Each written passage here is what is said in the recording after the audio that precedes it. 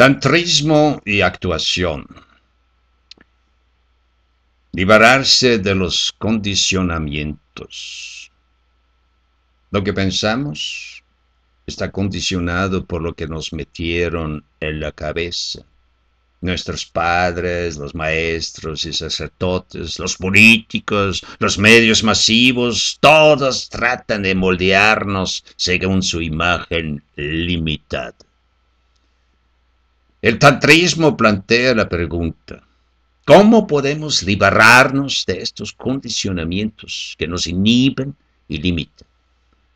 Para renacer, el tántrica, la persona que practica el tantrismo, igual que el actor, debe despedazarse a sí mismo, hasta que no quede nada de su condicionamiento.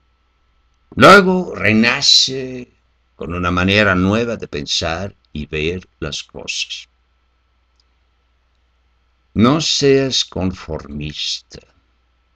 Un conformista se adapta a la forma que la sociedad exige de sus miembros. Pero esta forma es como una coraza que no deja mucha libertad. Por eso sea un no conformista.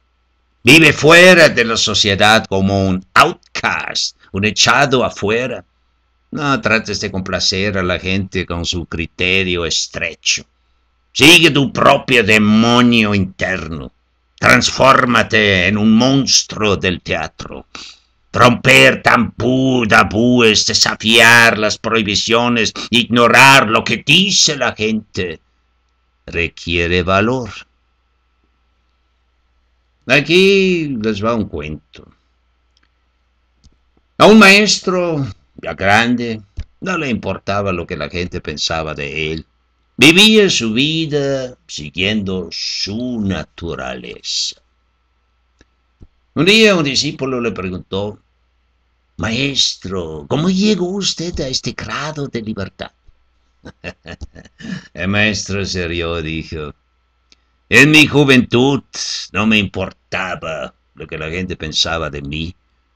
Luego me educaron y empecé a preguntarme constantemente qué pensaría la gente si hago esto o aquello. Hice todo para que me, para consideraran un hombre respetable. Pero después de mis 50 años me di cuenta de que la gente raras veces pensaba en mí.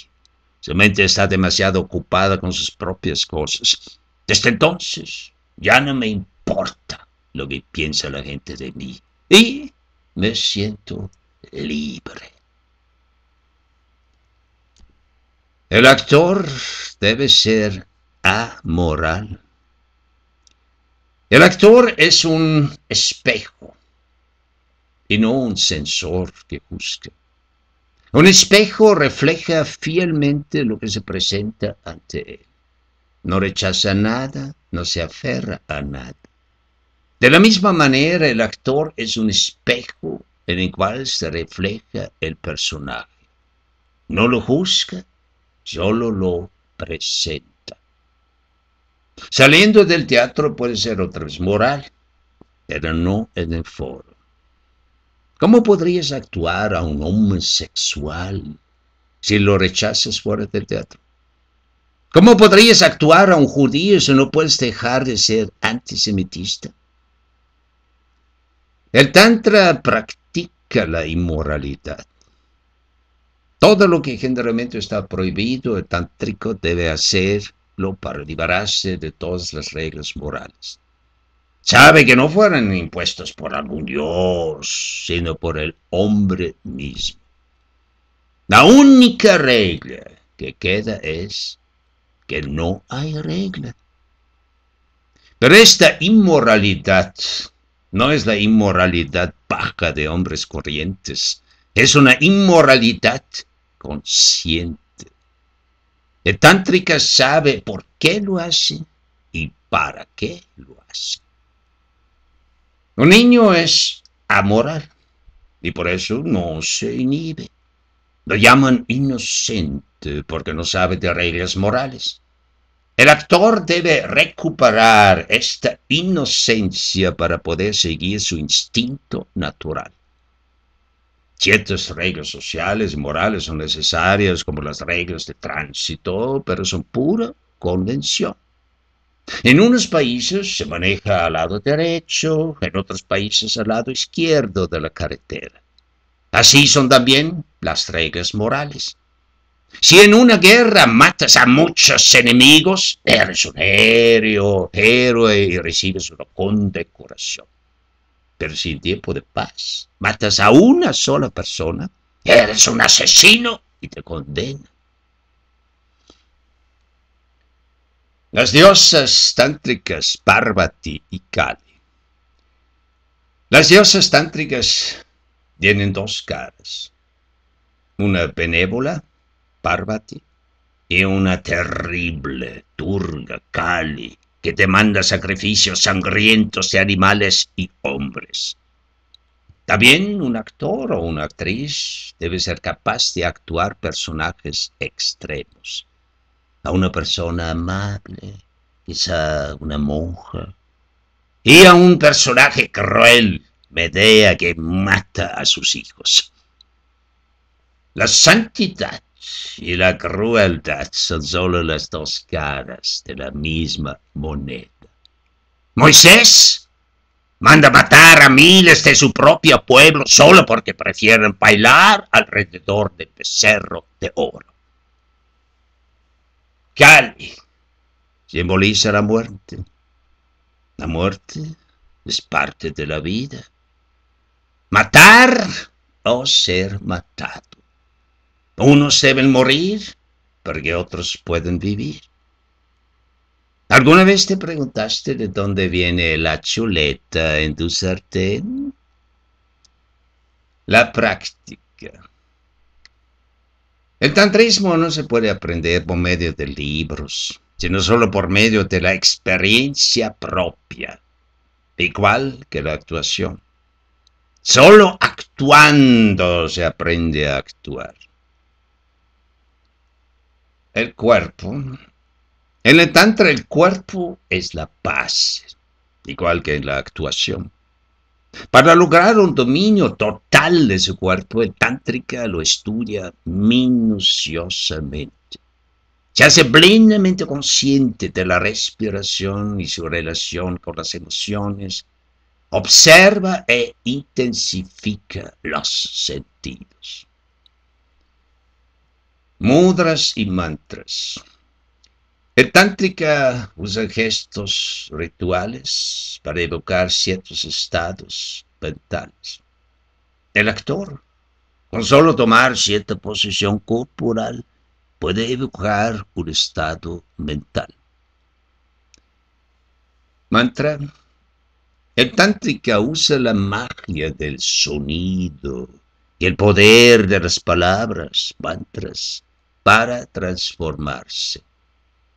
El actor influye con el poder de su voz en el público. Visualizaciones. El tántrica usa visualizaciones para identificarse con su deidad. ¿No es esto similar a lo que hace un actor también? El actor mantiene la imagen del personaje en su mente hasta que el cuerpo reaccione a esta imagen mental. El actor se mete en la piel del personaje, como los sacerdotes aztecas se metieron en la piel de una víctima desollada para transformarse en el dios Hipetotec. Intensificar la pasión. El actor no reprime sus emociones fuertes, las usa. Si se enoja, se enoja totalmente, pero observa su enojo hasta que lo conoce. Luego está encima del enojo y lo puede reproducir en cualquier momento sin que le afecte. El coraje da fuerza, el odio da fuerza, la pasión da fuerza. Los deseos dan fuerza. El actor los intensifica al máximo. A una persona sin deseo le falta energía. El Kulamaya Tantra dice, bebiendo y bebiendo, cayéndose al suelo y levantándose de nuevo para volver a beber. Así se alcanza la liberación. Atención, no es un consejo para alcohólicos, porque ellos no aprenden nada de su porachera. El actor tántrico incluye todo. Acepta las contradicciones y tensiones en sí sin dejarse destrozar por ellas. Tiene un centro inmóvil como el ojo del huracán que ninguna tormenta de emociones y confusiones puede sacudir. Para la tántrica no hay pecado, ni las dualidades del bien y del mal. Las cosas son lo que son. El meditador acepta, no quiere que algo le distraiga de su meditación. Por eso se aísla del mundo y del sexo y se refugia en un monasterio. El Tantra exige lo contrario. No sigue un ascetismo represivo. Intensifica los sentidos, aumenta los deseos y pasiones al máximo. Estas son fuerzas tremendas que pueden ser usadas para crear. Muchos grandes artistas fueron también amantes apasionados. La mayoría de monjes y monjas con su sexualidad reprimida raras veces crearon algo grande.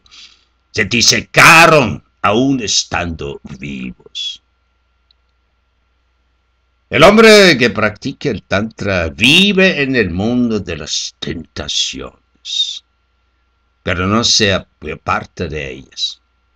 Usa las sensaciones y las pasiones fuertes como un jinete que monta un caballo.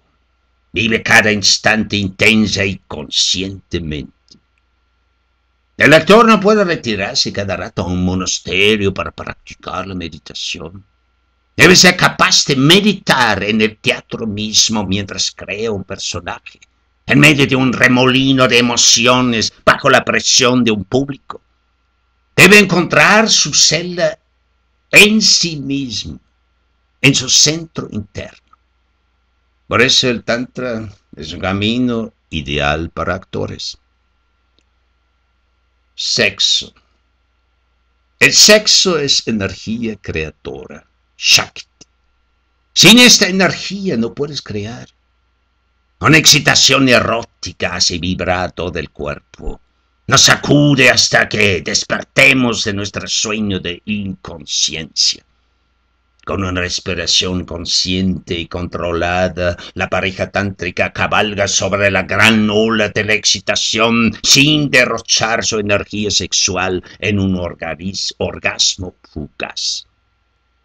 El acto sexual es igual de efímero una función de teatro. La espiritualidad verdadera no es algo nebuloso fuera del mundo, sino algo bien enraizado en la tierra. El Tantra no impone ninguna creencias o dogmas, únicamente propone técnicas y métodos de entrenamiento para que uno mismo pueda descubrir su propia verdad.